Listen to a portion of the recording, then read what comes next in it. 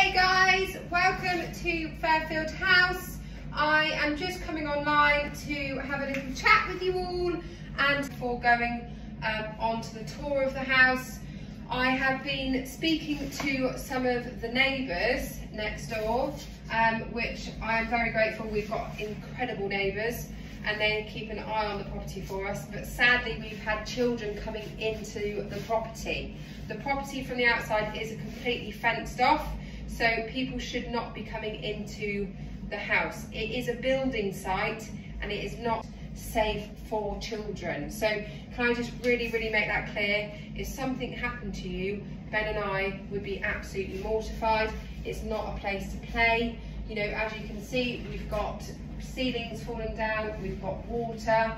You know, when you go up onto the higher floors, flooring's coming down from each floor. So wherever you walk in this house, it is very, very unsafe. So please, please be mindful of what you're doing. You know, when I was younger, I've been there and had that ticket. Oh, let's go into that big house. It looks great, it looks scary. But really, guys, you are not missing out. You know, you're risking your lives. So please, just bear that in mind and please do not come in. We do not mind you messaging us and saying, please maybe come and have a look at Fairfield with you. I would be more than happy to show you while we're here so you have a responsible adult with you. Um, and more so to the point that it's our lives and our home. You know, I'm not going to come around to your house and say, you know, I'll just let myself in. But anyway, rant over. Welcome back to Fairfield House. This is the old kitchen area. As you can see, we've got a lot of history. We've got this big old beam.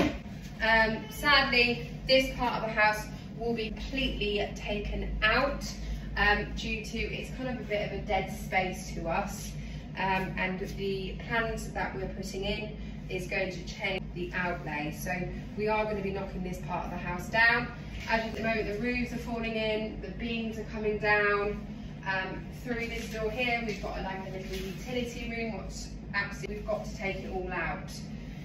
So we've got some really solid walls, um, but now that's actually a stud wall. Um, so yeah, this is the old kitchen area, but the layout will be changing. And um, but it's exciting change and we want to keep the history of the property, which is very, very important to us.